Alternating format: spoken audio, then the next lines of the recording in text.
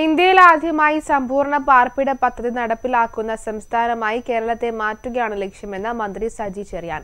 കുന്നൂത്തുപറമ്പ് പഞ്ചായത്തിൽ ലൈഫ് ഭവന പദ്ധതി പ്രകാരം നിർമ്മിച്ച പന്ത്രണ്ട് വീടുകളുടെ താക്കോൽ കൈമാറിയ ശേഷം സംസാരിക്കുകയായിരുന്നു മന്ത്രി. സംസ്ഥാന സർക്കാരിന്റെ ലൈഫ് ഭവന പദ്ധതിയിൽ ഉൾപ്പെടുത്തി കുന്നൂത്തുപറമ്പ് പഞ്ചായത്തിൽ നിർമ്മാണം പൂർത്തിയാക്കിയ പന്ത്രണ്ട് വീടുകളാണ് ഗുണഭോക്താക്കൾക്ക് കൈമാറിയത്. മന്ത്രി സജി ചെറിയാൻ താക്കോൽദാനം നിർവഹിച്ചു. വിഷു റംസാൻ ആഘോഷകാലത്ത് നിരവധി കുടുംബങ്ങളുടെ വീടെന്ന സ്വപ്നം യാഥാർത്ഥ്യമാക്കാൻ കഴിഞ്ഞതിൽ ഏറെ സന്തോഷമുണ്ടെന്ന് അദ്ദേഹം പറഞ്ഞു. മൂന്ന് ലക്ഷം പേർക്ക് ലൈഫ് ഭവന പദ്ധതി പ്രകാരം വീട് നിർമ്മിച്ചു നൽകി. ഈ വർഷം ഒരു ലക്ഷത്തോളം പേർക്കാണ് വീട് നിർമ്മിച്ചു നൽകുകയെന്നും അദ്ദേഹം പറഞ്ഞു. പക്ഷെ ഭവനം ഒരു മൂന്നര ലക്ഷം പേർക്ക് കൊടുത്തു കഴിഞ്ഞപ്പോൾ വീട് കണക്കെടുത്തപ്പോൾ ഇനി ഒരു അഞ്ചു ലക്ഷം കൂടെ ആയി കൊടുക്കാൻ.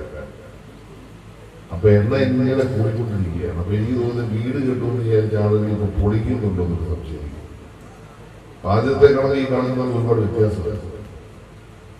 ഗവൺമെന്റിന്റെ ഒരു ആദ്യ കണക്ക് ഒരു അഞ്ച് ആറ് ലക്ഷം വീട് കൊടുത്താൽ കേരളത്തിൽ സമ്പൂർണ പാർപ്പിട പദ്ധതി ആകുമെന്നാണ് കരുതിയതെങ്കിൽ രണ്ടാമത്തെ സർവേ വന്നപ്പോൾ എണ്ണയ്ക്ക് വലിയ വ്യത്യാസമാണ്.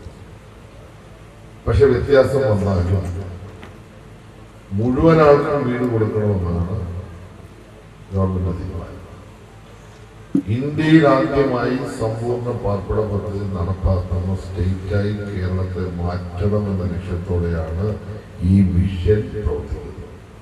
K P Mohan M L A അധ്യക്ഷത വഹിച്ചു. ആർ വാസു പുരുഷു തൈക്കണ്ടി ദേവി നെല്ലിയുള്ള പറമ്പത്ത് ഷീന മത്തത്ത് സുമ വടക്കേ പറമ്പത്ത് സുരേന്ദ്രൻ ശ്രുതി നിലയം തുടങ്ങിയവരുടെ വീടുകളാണ് ആദ്യഘട്ടത്തിൽ നിർമ്മാണം പൂർത്തീകരിച്ചത്. നിലവിൽ അറുപത്തിയൊന്ന് ലൈഫ് ഗുണഭോക്താക്കളുള്ള പഞ്ചായത്തിൽ മുപ്പത്തിനാല് വീടുകളുടെ നിർമ്മാണ പ്രവൃത്തി അന്തിമഘട്ടത്തിലാണ്.